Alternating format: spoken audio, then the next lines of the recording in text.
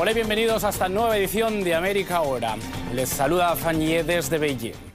Empresas chinas financiaron y construyeron en la provincia argentina de Jujuy el parque fotovoltaico Cauchari, el más grande de América Latina, un proyecto del convenio firmado entre China y Argentina en el marco del primer foro de la Franja y la Ruta para la Cooperación Internacional.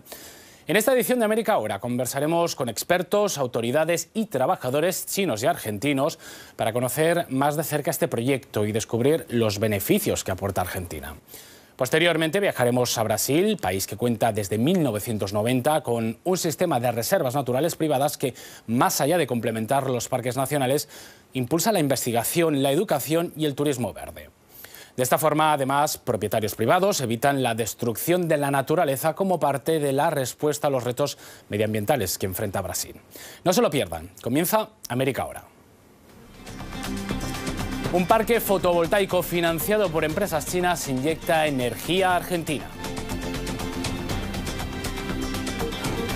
Brasil cuenta con un sistema de reservas naturales privadas que complementa a los parques nacionales de propiedad estatal. En 2020 el parque fotovoltaico Cauchari, el más grande de América Latina, inició oficialmente sus operaciones. Este parque, situado en la provincia argentina de Jujuy, fue construido y financiado por empresas chinas e inyecta energía al sistema eléctrico nacional.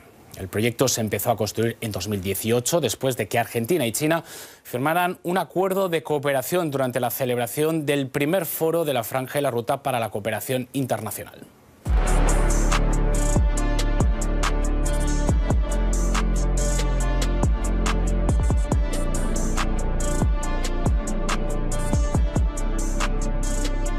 Estamos en Argentina, en la provincia de Jujuy. Llegamos hasta aquí para conocer uno de los tantos proyectos de cooperación que tienen Argentina y China, el Parque Fotovoltaico de Cauchari. Proyectos como estos se enmarcan bajo la Franja y la Ruta, iniciativa que busca construir una comunidad global de futuro compartido bajo un mundo conectado sobre el cual fluyen bienes, personas y servicios en un entorno de paz y beneficio para todos la República Argentina se sumó oficialmente en febrero de 2022, abriendo un nuevo horizonte de desafíos y proyectos en conjunto entre ambos países. Nuestros países se encuentran. Nos encontramos en el sur argentino, trabajando en las centrales hidroeléctricas del río Santa Cruz. En la provincia de Buenos Aires, nos encontramos cuando más de 600.000 pasajeros diarios se suben a un tren de origen chino nos encontramos cuando las economías regionales se benefician del acuerdo de material rodante del Belgrano Cargas o el ferrocarril San Martín. Nos encontramos cuando celebramos la recuperación de la política del sector nuclear. Nos encontramos ampliando el parque eólico y solar Arauco en la provincia de La Rioja. Argentina y China se encuentran en proyectos, lugares e historias.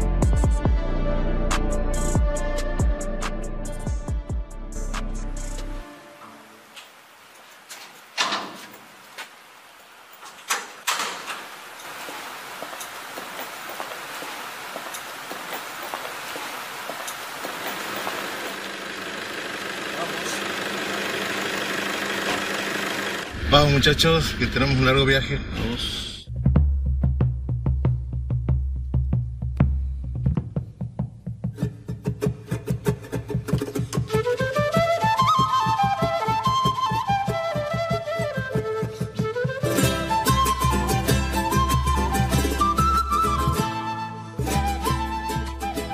Jujuy tiene la simpleza y la belleza del norte argentino. Sus paisajes son reconocidos como patrimonio de la humanidad. Sus pueblos son el encuentro con la raíz del ser argentino, plagados de callecitas de colores, carnaval en febrero, de música y comidas regionales. Al subir la zigzagueante cuesta del Lipán por la ruta provincial 52 y atravesar las salinas, la altura se empieza a sentir y los cuerpos desacostumbrados empiezan a pedir más oxígeno. San Salvador de Jujuy y Purmamarca quedaron atrás. Entramos en el territorio de los pobladores, la vegetación y la fauna autóctona del norte argentino. Comenzamos el viaje de San Salvador de Jujuy hacia la planta de generación solar. Este, el tiempo de viaje tenemos aproximadamente unas 4, horas y media por una ruta número 52, una ruta muy turística, eh, con muy buenos paisajes para disfrutar a lo largo del camino. Este viaje lo hago generalmente cada dos semanas. Eh, me quedo trabajando dos semanas aproximadamente en la planta y luego retorno para mi descanso. Esto lo hago generalmente durante todo el año. A 4.020 metros de altura, en una de las regiones más áridas del planeta, se encuentran un millón de paneles solares que forman un océano azul que hacen que Cauchari parezca un espejismo.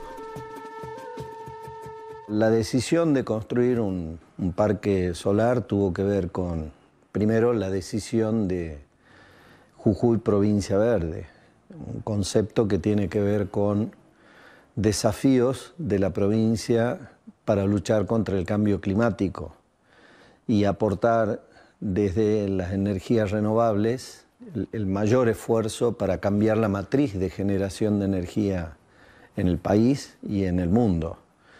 Eh, y, con relación al vínculo con China, tiene que ver con la, posibilidad de financiamiento del proyecto. En verdad, nosotros buscamos financiamiento en distintos organismos multilaterales.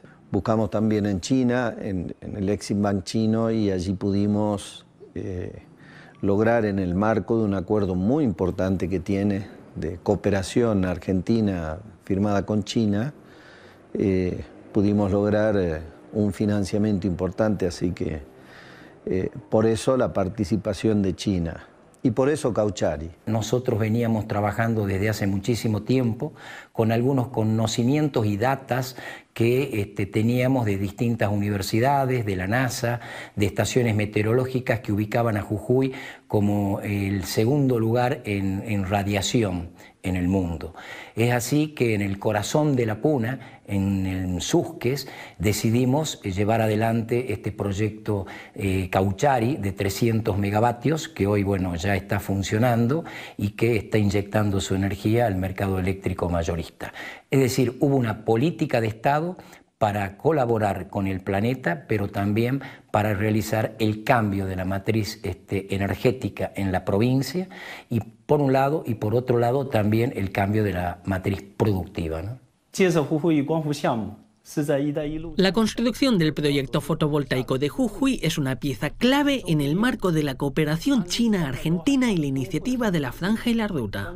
Estamos ayudando al gobierno argentino y a la región norteña del país a cumplir con los objetivos para la transición verde y las necesidades de los usuarios aprovechando al máximo los abundantes recursos solares de los Andes. Ayudamos al propietario a preparar el estudio de factibilidad, la propuesta comercial y técnica y el plan de financiación para establecer el proyecto, firmar el acuerdo de compra de energía y el acuerdo de conexión a la red, así como el plan de financiación. El proyecto fotovoltaico de Jujuy es el mayor en concepto de capacidad instalada y el de mayor altura de Sudamérica. Se utilizan módulos fotovoltaicos fabricados en China que incorporan las tecnologías más avanzadas del mundo y se configura con soportes de seguimiento para maximizar la generación de energía y limitar año a año las emisiones de dióxido de carbono.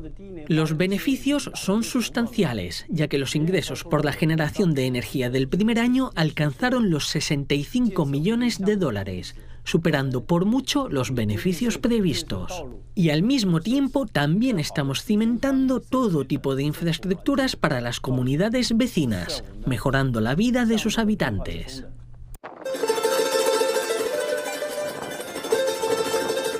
En este lugar, crudo, real, alejado de las ciudades, hay mucha gente que día a día empuja para poder llevar a cabo este exitoso proyecto. Son rostros, son historias, son nombres propios. Javier, Fernanda, Eduardo, Héctor, Enzo, Diego. Mi nombre es Héctor Asaf Carpanchay y soy de la empresa Catherine Sira. Eh, bueno, entré en el 2018, en mayo de 2018. Me debe ser cinco meses después de que empezó la obra, más o menos. Y el movimiento era mucho más grande. Digamos, tener 1.100 personas cuando yo ingresé acá. Eh, estoy satisfecho bastante con mi trabajo, eh, más por lo que la gente nos, demuestra, los agradecimientos que recibimos de la gente. Eh, la verdad que algo lindo que sentimos nosotros porque sentimos que nuestro trabajo está vale la pena, digamos. Yo soy maestro panadero, estoy encargado de acá de la panadería. Yo preparo el pan para el desayuno y para el almuerzo y para la cena. Eh, yo trabajaba en las panaderías de los barrios, en barrio Ciudad de Nieva, en barrio Malvina, en San Pedrito. Eh, cambió muchísimo, la verdad que cambió muchísimo para mí, para mi familia, para mi esposa y mis dos hijos. Eh, es un proceso muy lindo. Abajo ahora hay mucha escasez de trabajo, ¿sí?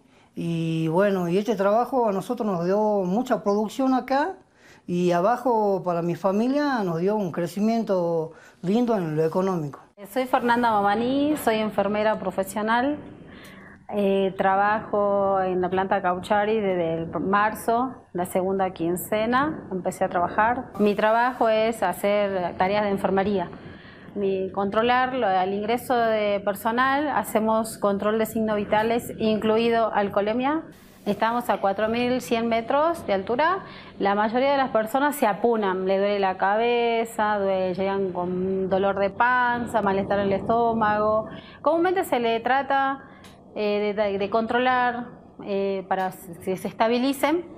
Y si no, después comúnmente lo común acá es resfrío, y nada más, y que comer mal, digamos, eh, por ahí comen mucho, le hace mal a la panza y tenemos que asistirlo en sí. Yo trabajaba de enfermera, pero con pacientes en Salta con internación domiciliaria. Siempre trabajé, digamos, en esa área.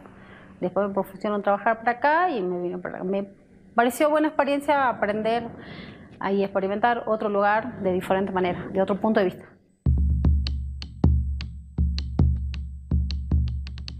El lugar es remoto, el viento y la arena volando y el frío golpean contra los rostros que se tratan de tapar y resguardar del fuerte sol.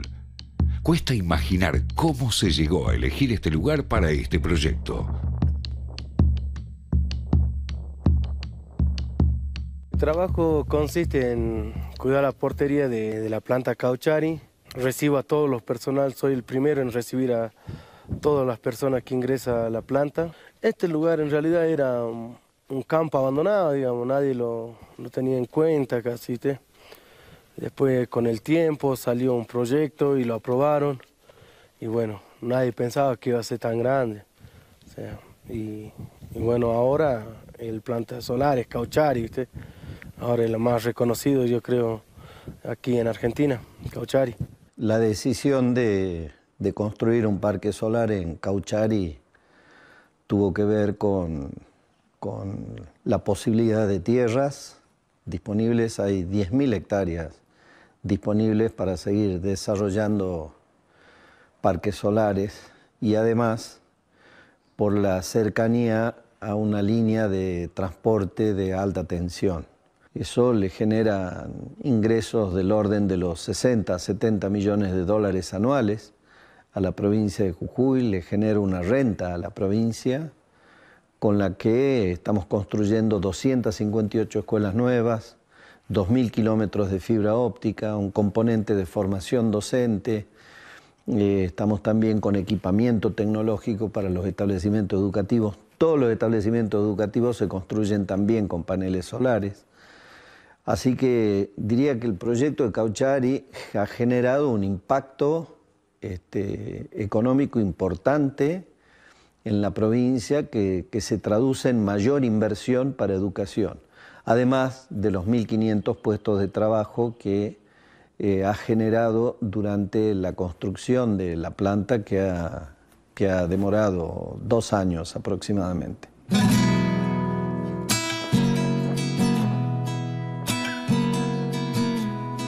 Con el proyecto funcionando, las historias se comenzaron a construir. Pobladores de diferentes lugares de Argentina comenzaron a trabajar en el parque, cada uno aportando su granito de arena para que todo pueda salir adelante. yo soy jefe de mantenimiento, tengo 10 personas a cargo. Eh, justamente ahora estábamos resolviendo un problemita que teníamos en el cuadrante de DTU. Eh, ahí los chicos cambiaron el cuadrante y ahora después de alinear ya mandaron el comando para que se normalice. Para mí como ingeniero es un proyecto admirable por la inmensidad, que vos ves acá un mar de paneles, casi un millón de paneles, y yo ya pasado dos años no dejo de admirar eh, el proyecto y la ejecución del mismo, ¿no? O sea, eh, impresionante la producción de 300 megas, que para uno es quizás para gente que, no, es del palo, digamos, no, no le da mucha importancia, pero para mí es un proyecto admirable. Yo arranco a las 7 de la mañana, donde me organizo con los chicos, con los supervisores, Fati y Maxi. Este, planificamos el trabajo durante el día, es generalmente así, digamos, de 7 de la mañana a 7 de la tarde, de lunes a lunes, no tenés ni sábado ni domingo acá. Así que lo más difícil eh, para el que tiene familia es dejar la familia, digamos. Eh, es tremendo cada vez que te tenés que subir a la camioneta para venir. Eh. bueno, vos sabés que tu familia no te ve, ni vos la ves a ellos en dos semanas. Así que eso es lo más difícil.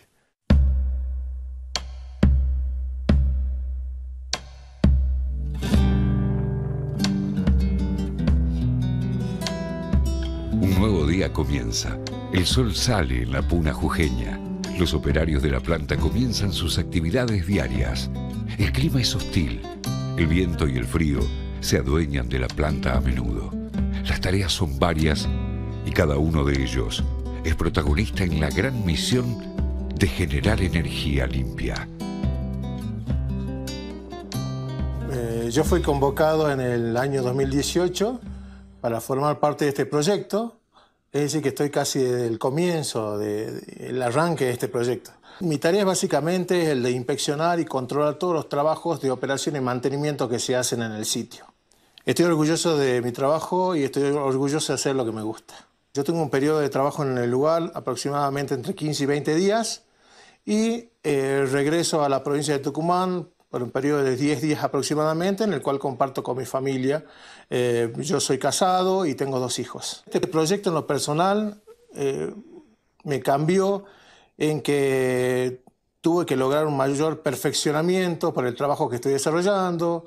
Eh, me tentó la, idea de, de, formar parte de una empresa extranjera, China en este caso, con gente de una cultura totalmente diferente y eso me llevó a tomar la decisión de formar parte del proyecto. Dada el lugar a donde está emplazado este parque de generación, genera fuente de trabajo para gente de las comunidades cercanas que están aisladas del resto de los centros urbanos poblados. El beneficio para esta gente fue fundamentalmente, como te digo, eh, fue tener una fuente de trabajo, perfeccionar, perfeccionarse eh, en una actividad que es nueva en Argentina y en la provincia de Jujuy, entonces genera mano de obra especializada para futuros proyectos que se pueden generar en el lugar.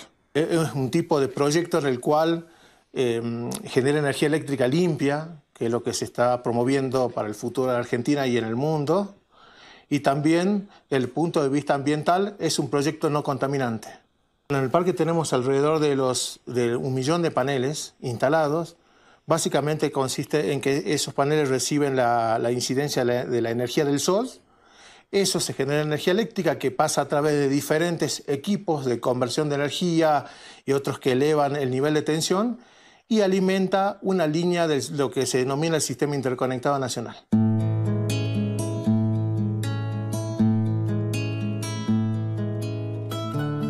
Del otro lado del mundo, China y Argentina se unen para promover el desarrollo sostenible.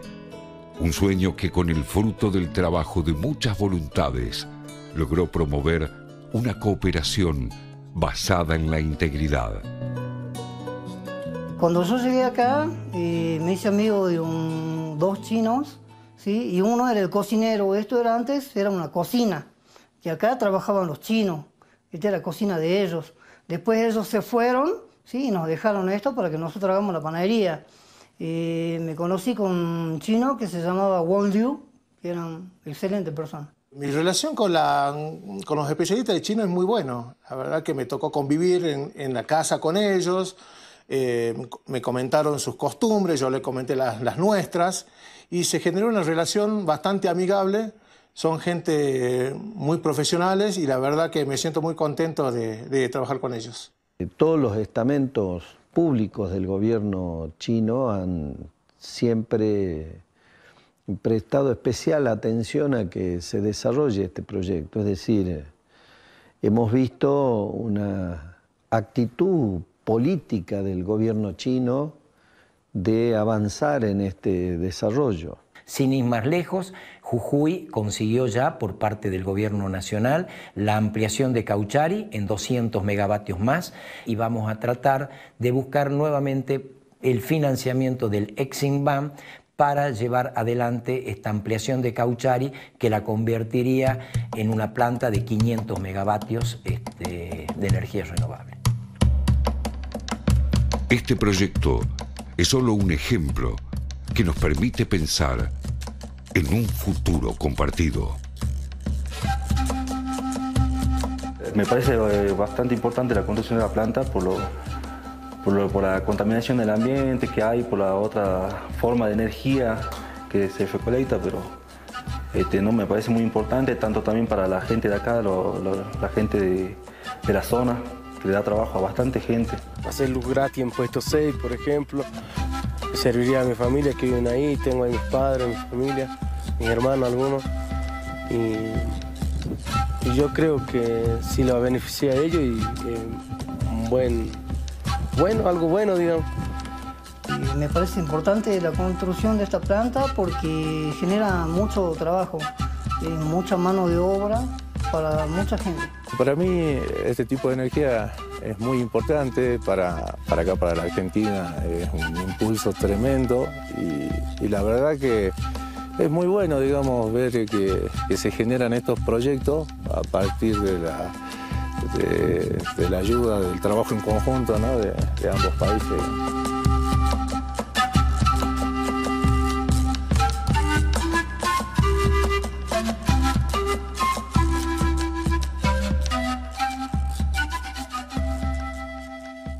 Brasil cuenta con un sistema de reservas naturales privadas que complementa los parques nacionales de propiedad estatal.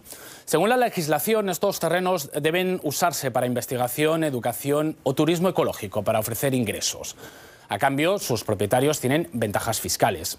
Vayamos hasta Brasil para conocer una iniciativa que protege cerca de un millón de hectáreas. Este es Evandro Ayer. Se encuentra en su santuario de vida silvestre, Vagafogo. El agua está muy limpia, es transparente, hermosa. Vagafogo. Vagafogo es el nombre del río y es la palabra que se usaba para luciérnaga. Para vagalume. Tenemos animales fantásticos que viven en la orilla de este río.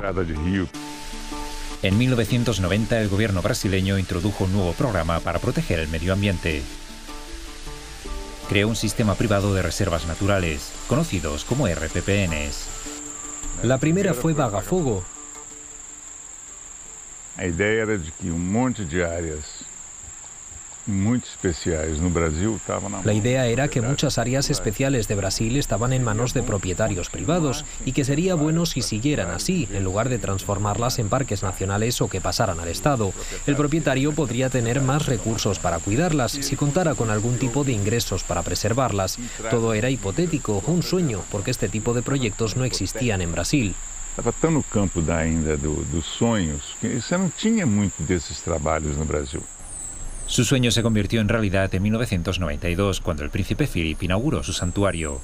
Era entonces presidente del Fondo Mundial para la Naturaleza.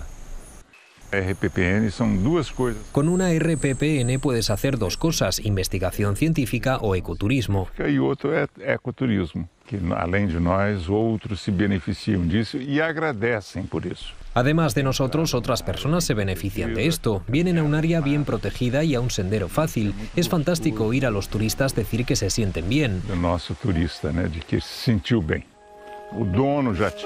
Cuando vinimos la primera vez esto era un pastizal para animales, caballos. El propietario anterior había deforestado esta área, así que nuestra idea fueron árboles frutales, todos los tipos que pudieran crecer en esta sabana seca. Hoy es día de cosecha, funcionó mezclarlos, ¿no? Un día de colheita. Deu certo colher daquele jeito que eu falei? Você levantou o plástico? Ah, qué bom. ¿Eh? Se trata de una empresa familiar. Cuira, hijo de Bandro, cuida de la cosecha. Falar a verdade, isso aqui é uma terapia, né? A gente teve uma infância um pouco diferente por causa dos meus pais.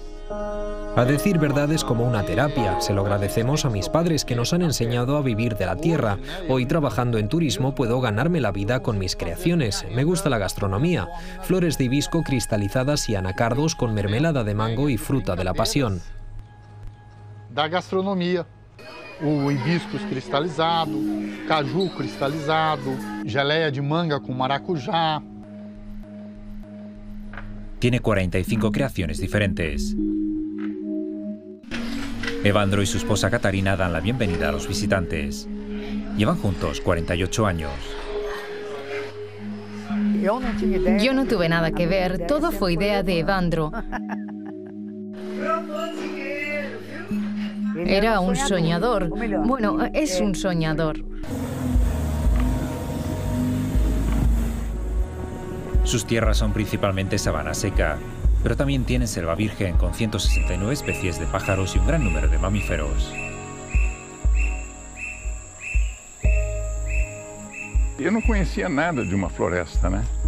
Al principio no sabía nada de estas tierras, no sabíamos cuántos animales silvestres teníamos de vecinos. Silvestre que tínhamos como socios.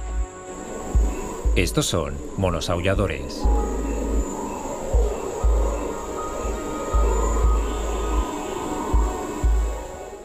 Esse segmento nosso de educación ambiental. Nuestro proyecto de educación medioambiental es increíble. Traes a un niño aquí y le muestras este universo. E tentar mostrar esse universo, né?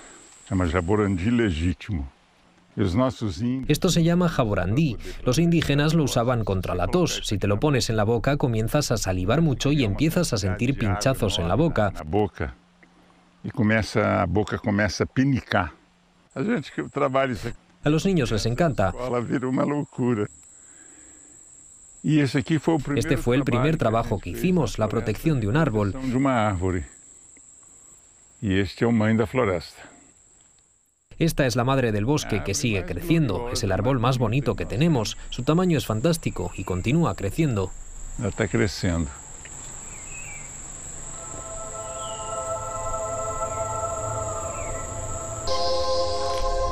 Hoy hay más de 1.500 parques privados en Brasil que protegen cerca de un millón de hectáreas desde el Amazonas y la selva atlántica.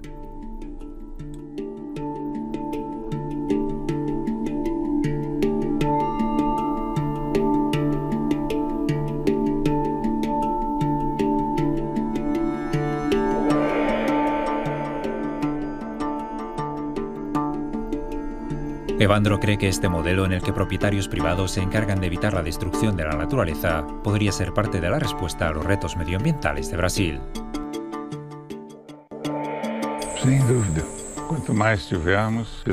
Sin duda, cuando tienes a gente que piensa en preservar un área para la posteridad es increíble porque tenemos un país con una diversidad fantástica. porque nós temos um país com uma diversidade fantástica.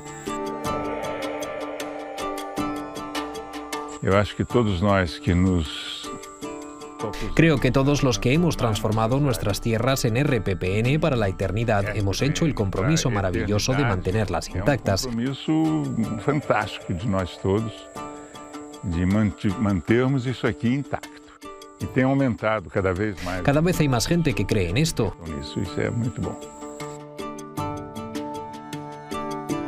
Eu acho que é, Es genial. é um voto importante. Opino que es importante que le demos a la humanidad la oportunidad de preservar lo que tenemos. Considero que tenemos una buena oportunidad. Así concluimos esta edición de América Ahora. Gracias por sintonizarnos durante esta media hora. Soy Fanyé desde Beijing. Les espero la próxima semana.